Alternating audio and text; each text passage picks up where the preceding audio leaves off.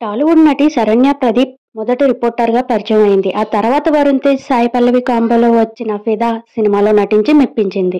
ఇందులో శరణ్య సాయి పల్లవికి అక్కగా అచ్చ తెలుగులో మాట్లాడి అందరి దృష్టిని ఆకర్షించింది. ప్రస్తుతం పలు చిత్రాల్లో క్యారెక్టర్ ఆర్టిస్ట్గా నటిస్తూ ప్రేక్షకులను అలరిస్తుంది. అయితే ఇటీవల సుహాస్ హీరోగా నటించిన అంబాజీపేట మ్యారేజ్ బ్యాండ్లో అక్కగా నటించింది. ఈ సినిమా ఫిబ్రవరి రెండున థియేటర్స్లోకి వచ్చి మంచి రెస్పాన్స్ దక్కించుకుంది. తాజా తాజాగా ఓ ఇంటర్వ్యూలో పాల్గొన్న శరణ్య తన ఎదురైన అనుభవాలను పంచుకుంటూ ఆసక్తికర కామెంట్స్ చేసింది. నేను ఎప్పుడు చేయని సన్నివేశంలో నటించాలంటే కాస్త భయంగా ఉండేది. న్యూడ్గా నేను ఇప్పటి వరకు నటించలేదు. కాబట్టి ఆ భయం ఉండేది. కానీ నా భయాన్ని పోగొట్టి సపోర్ట్ ఇచ్చింది మాత్రం నా భర్తే. నటించు అని చెప్పారు. అది చాలా స్ట్రాంగ్ క్యారెక్టర్ అంటూ నా భర్త నన్ను పుష్ చేశారు. ఆయనతో పాటు చిత్ర యూనిట్ కూడా నాకు సపోర్ట్గా ఉన్నారు.